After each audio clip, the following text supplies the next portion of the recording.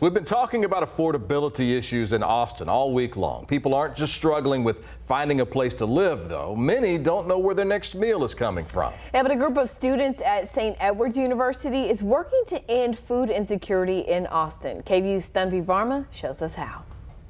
This is Lauren and her daughter. Lauren is a single mother who's been waiting for food stamps since January. She's also a full time college student. For now, she eats one meal a day fully fueling my body is not something that I can afford to do at this time because I try to make sure that I'm providing for my child instead.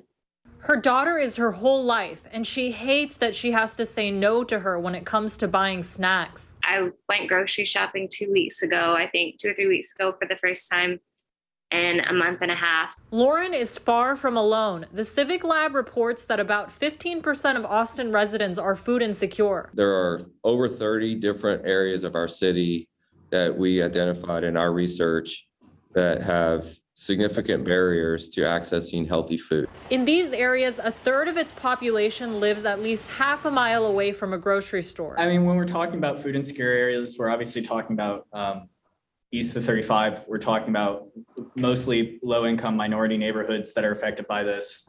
Many are affected, those who you wouldn't even think. You know, your friends, people that you wouldn't think would need help with food, can be food insecure. So much prosperity in our city. We also have a tremendous amount of inequality and barriers, um, income barriers, and there's income segregation here. For KVUE News, I'm Tanvi Varma.